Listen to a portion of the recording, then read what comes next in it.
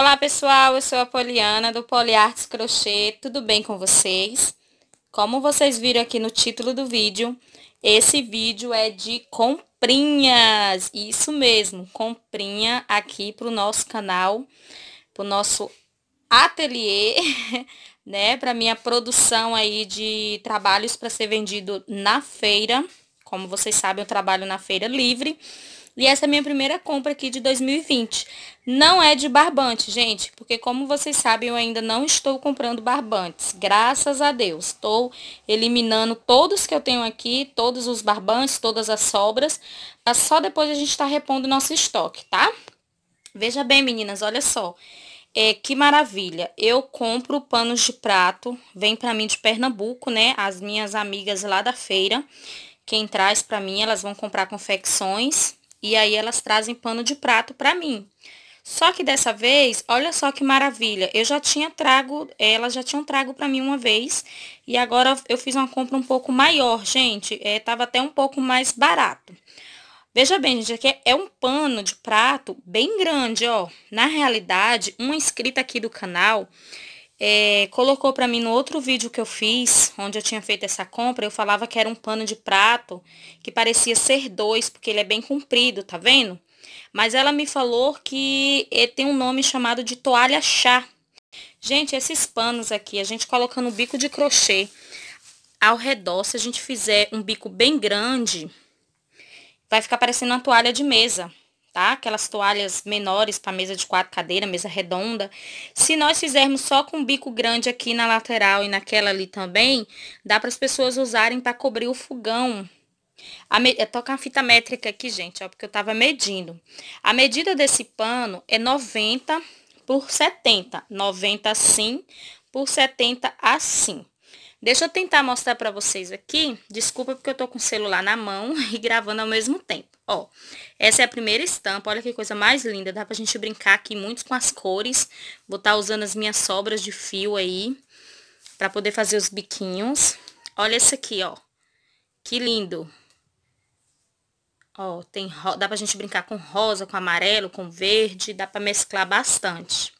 Espero que deixe pra vocês verem aí, porque aqui é noite. Olha esse aqui, vermelho, com essas flores. Ó, eu, eu abri só alguns, pessoal, aqui. Por quê? Porque eu comprei, ó. Deixa eu tentar arrumar aqui. Eu comprei cinco pacotes. Cada pacote vem assim, ó, fechadinho, lacradinho. Cada pacote vem 10 unidades. Então, eu comprei 50 toalhas chá, tá? 50. Aqui tem quatro pacotes fechados. Todos são as mesmas estampas aqui que eu tô mostrando pra vocês. Por isso, não tem necessidade de eu estar tá abrindo todos, tá? Ó, todos vêm essas mesmas estampas. Vem três estampas de cada pacote. Aí vem um que vem uma estampa diferente. Ó, esse aqui, gente, da corujinha, coisa mais linda. Dá pra gente fazer amarelo, laranja. Ó, esse azulzinho aqui, olha. Eu tô apaixonada por esse azul, gente, ó. Olha que lindo. Quem for uma costureira aí, dá até para dividir no meio, mas acho que não, não ficaria legal. Olha só, gente, se eu dividir aqui para vocês verem. Se ela não é como se fosse dois panos de prato juntos, ó. Ó, eu dividi aqui no meio. Olha o tamanho que ficou. tamanho de um pano de prato. Né? Então, esse é o azul. Esse aqui é a estampa da, da, da maçã, ó. Dá pra gente brincar aqui com o rosa, o vermelho. Essa tá linda, ó, o verde, fazer um bico bem legal. E tenho essa estampa aqui. Do bule, né? Dá pra gente fazer um bico preto, um bico amarelo. Então é isso, meninas. Deixa eu passar aqui pra vocês, antes que eu me esqueça, o valor de cada pano, gente. Vocês não vão acreditar por quanto que saiu cada unidade desse pano aqui pra mim. Gente, esse pano saiu para mim a quatro reais a unidade, tá? A quatro reais a unidade de cada pano.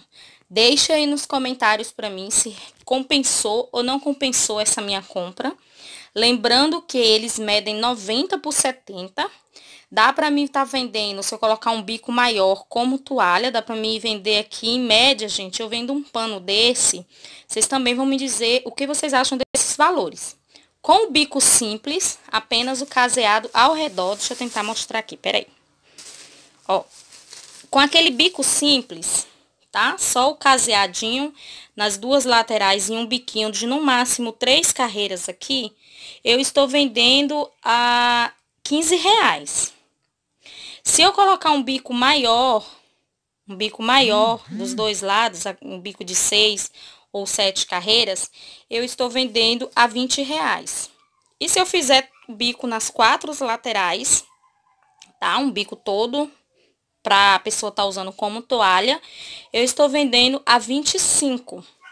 Então me deixa aí no comentário o que, que vocês acham, se o preço tá bom, se não tá bom. Lembrando que eu, ele foi o valor de R$ reais a unidade cada, tá? Então eu comprei 50 panos, comprei 5 pacotes, cada um vem 10 unidades. Me deixa aí no comentário a dica de vocês, como que eu posso estar tá fazendo, se vocês acham que o preço tá legal ou não. É, que tipo de bico eu posso estar colocando aqui para agregar mais valor ou não, porque eu trabalho em feira, né? Como vocês sabem, eu tenho que estar tá vendendo um produto mais em conta, tá?